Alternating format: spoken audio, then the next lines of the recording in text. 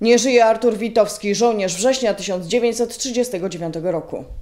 Artur Witowski, podoficer 79. Pułku Piechoty w Słoninie od 1944 roku, żołnierz II Armii Wojska Polskiego.